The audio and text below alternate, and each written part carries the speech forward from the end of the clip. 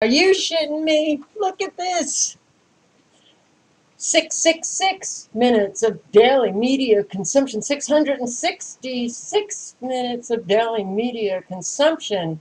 Isn't it interesting that the USA is consuming daily 666 minutes? Are you kidding me? Oh, let's click on it and see what it is. Come on, come on, come on, come on.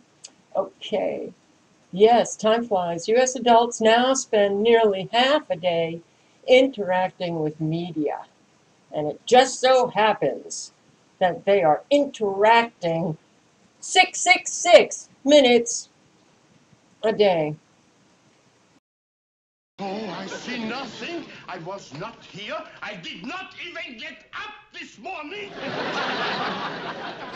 You cannot make this stuff up.